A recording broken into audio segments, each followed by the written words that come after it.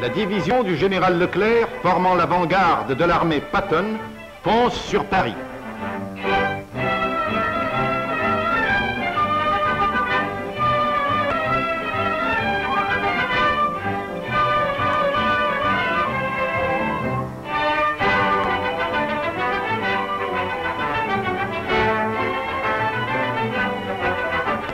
À peine les premiers chars ont-ils atteint la grande banlieue que l'insurrection éclate dans la capitale. Les appels aux armes s'étalent sur les murs. Montmartre, qui attendait impatiemment cette heure, leur répond avec enthousiasme et commence aussitôt à dresser des barricades. Le plan en a été rapidement établi.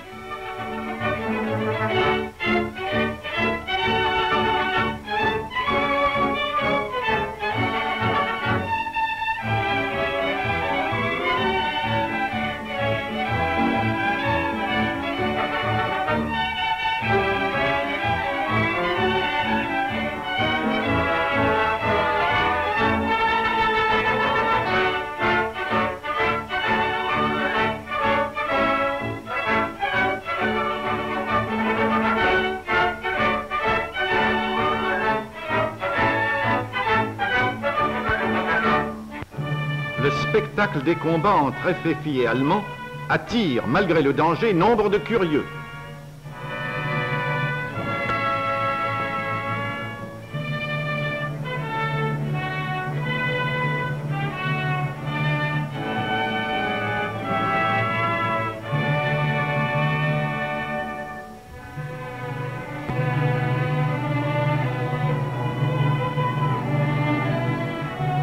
Le Grand Palais est en feu. Les Allemands allumeront ainsi de nombreux incendies, espérant par ce moyen ralentir la poursuite des vainqueurs. Le général Leclerc a installé son PC à Rambouillet. Pas pour longtemps. Tout est prêt pour l'entrée à Paris.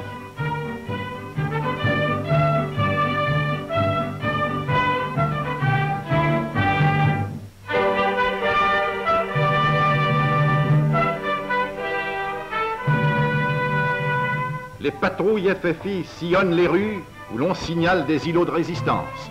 Des misérables qui furent d'actifs collaborateurs luttent aux côtés de la Wehrmacht.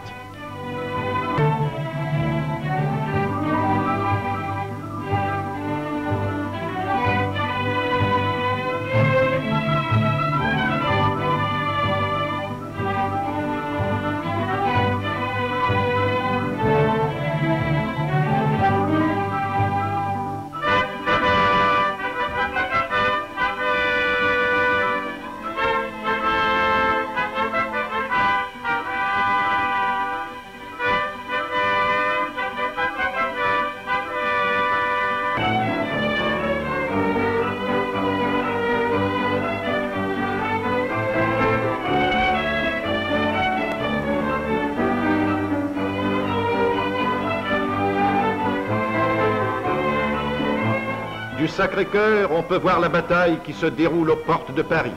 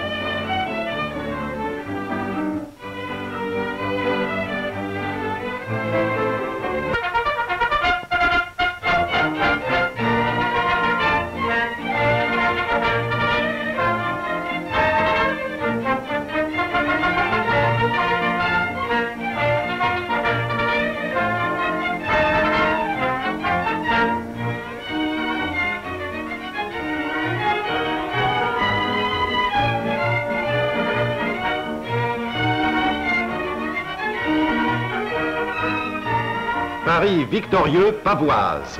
D'où sont donc sortis tous ces drapeaux? Les femmes les ont, malgré le danger, confectionnés depuis longtemps pour le jour tant attendu.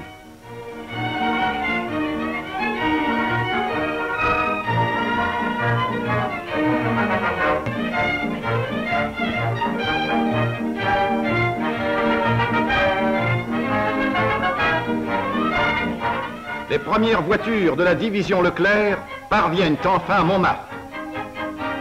Leurs occupants les ont décorés des noms de leurs plus glorieuses étapes.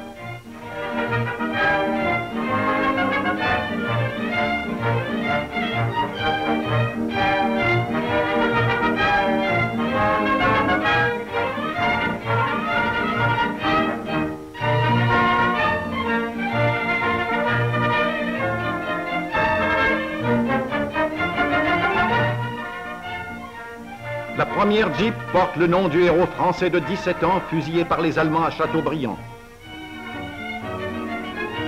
Cependant, les troupes victorieuses arrivent à Montmartre. Après la division Leclerc, voici les équipages du général Patton. Ces heures décisives, ces heures historiques s'achèvent dans la joie, une joie que les mots ne peuvent exprimer.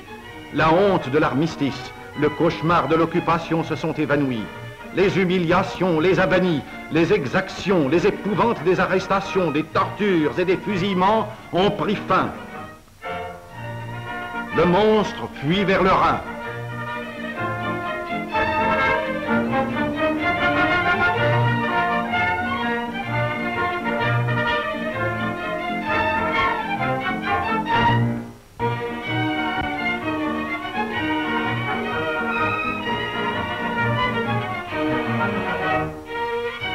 Avant de s'élancer à la poursuite du Boche, les soldats alliés contemplent Paris, le fier Paris rendu à la liberté et dont le soleil doux rehausse la souveraine beauté. Et Montmartre, sa fureur guerrière apaisée, reprendra sa vie insouciante et retrouvera son esprit prime sautier plein de fantaisie, de grâce juvénile et de poésie.